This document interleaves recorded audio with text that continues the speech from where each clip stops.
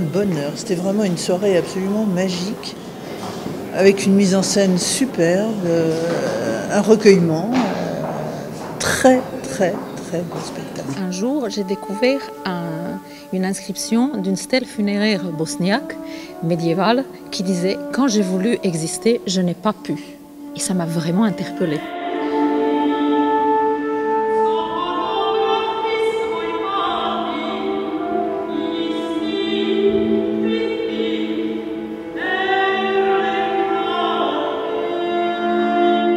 C'était vraiment très émouvant.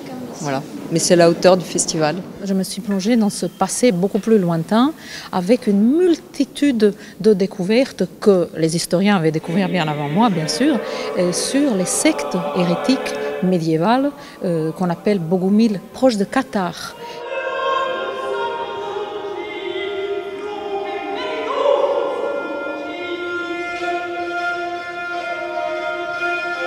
Nous avons des catholiques, des euh, orthodoxes et puis après aussi des musulmans, des juifs séfarades, donc une richesse incroyable et un monde parfois très tolérant, parfois très intolérant et avec des textes d'une parfois une violence et une force extraordinaire. On se laisse complètement emmener par les, mots quand même beaucoup, hein, et c'est la voix quoi, qui est complètement mise en valeur.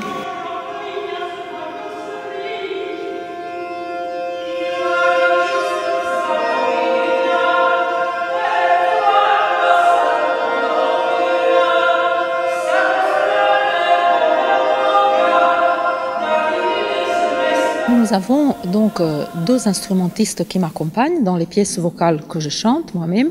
Et puis nous avons un groupe de chanteurs traditionnels que Yoshko Charleta avait recruté.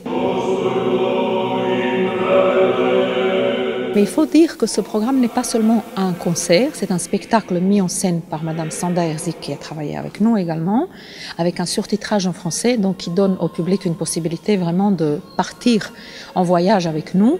Et le, le- le scénario que j'avais composé de ces différents textes compose une unité qui parle de la création jusqu'à la destruction du monde. Ça fait euh, 15 ans que je vis en Festival d'Île-de-France et c'est rare qu'on soit déçu parce que ch- chaque fois, c'est des lieux d'exception avec euh, des musiques recherchées qu'on n'a pas l'habitude d'entendre.